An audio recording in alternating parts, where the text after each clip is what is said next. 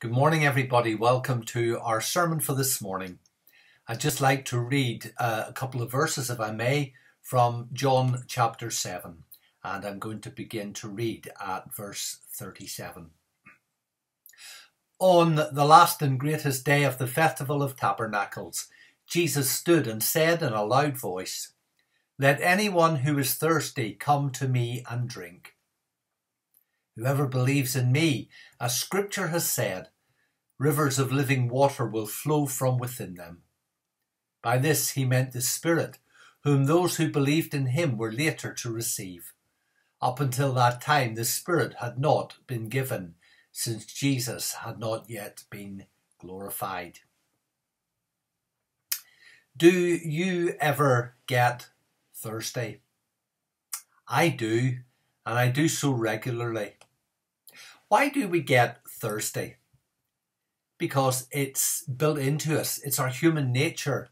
We were created for water and for food, and we don't think twice about going into the kitchen and sorting ourselves out, food and drink wise, just whenever we need to.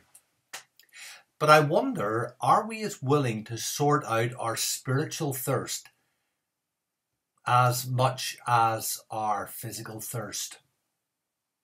Although not mentioned very often in the New Testament, the festival that we read about today, the Festival of Tabernacles, was one of the big three annual festivals, along with Passover and Pentecost in the Jewish calendar.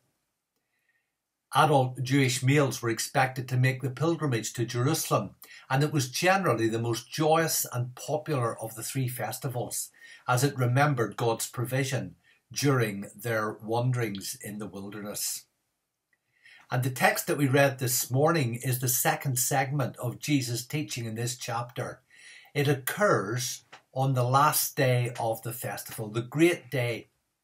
And on that day, if you were there, what you would have seen would have been the priest drawing water from the pool of Siloam with a golden pitcher. And the priest would carry it back to the temple and pour it into a silver bowl next to the altar, accompanied by musicians and choirs.